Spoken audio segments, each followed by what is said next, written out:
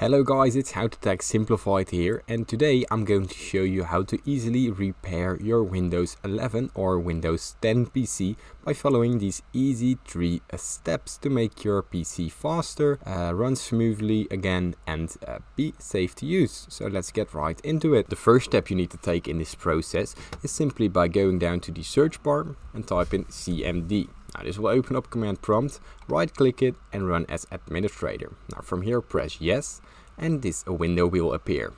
Now from here we simply type sfc spacebar slash scan now.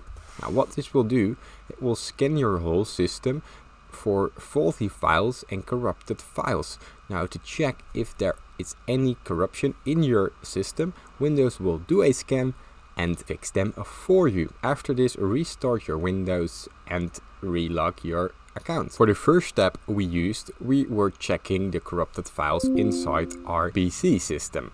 Now for the second one, we're going to check our Windows system file. So simply just copy this command, Control C, go to command prompt once again. From here, right click it and run as administrator, press yes, and from here we copy the same text that we see in the notepad from here simply press enter and it will start a scan now just let it scan your whole PC and it will fix corrupted files in the Windows back for you. Now let's head to the next step. Now for the third method we're going to use the troubleshoot system in our Windows. Now from there we head to the search bar right here and we open up troubleshooting settings right here.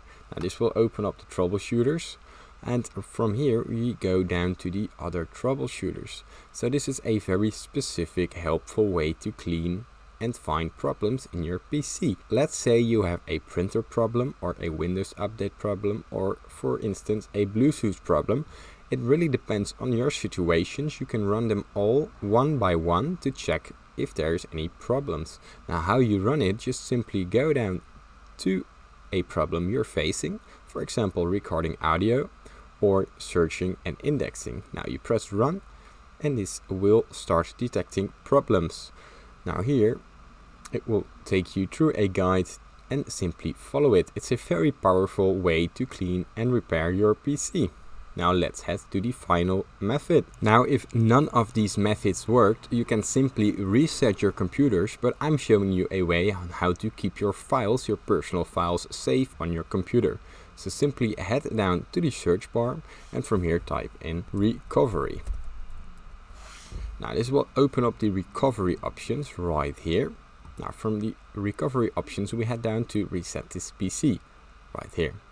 Now this will take you to a little menu and here you can choose to keep your files and to remove everything. We're going to the top one.